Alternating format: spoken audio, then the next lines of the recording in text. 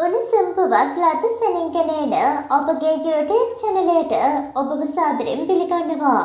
මෙන්න දැන් ලැබුණ තවත් උණුසුම් පුවතක්.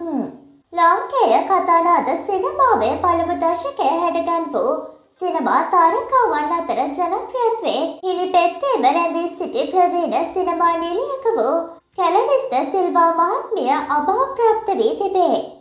ඇයගේ අවසන් නිල්ලීම මත පැය විසි හතරක් තුළ අවසන් කටයුතු සිදු කර තිබේ.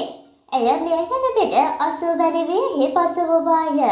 අවිවාහකව සිටි කැලරිගේ අවසන් කටයුතු නාවලදී සිදු කරුණේ ඇගේ අන්තිම කැමැත්ත මතය. අනුරාධපුර හෝලි ෆැමිලි කණ්‍යාරාමෙන් මූලික අධ්‍යාපනය ලැබූ ඇය පසුව කලා ශේත්‍රයට එක් වූහ. මෙරට සිනමා සංස්කෘතියක් ඇති කිරීමෙහිලා මූලික අඩිතාලම වැටුණු කාලේ රුක්මනී දේවී ළඟට වඩාත් කතා බහට ලක් වූ නිලියයි. ඉන්දියානු සිනමා උපකුලයක් ලෙස ආරම්භ වූ මෙරට කතානාද සිනමාව ඒ වන විට සම්පූර්ණයෙන්ම දකුණු ඉන්දියානු සිනමාවේ ඡායා පිටපතක් ලෙස පැවතියේය.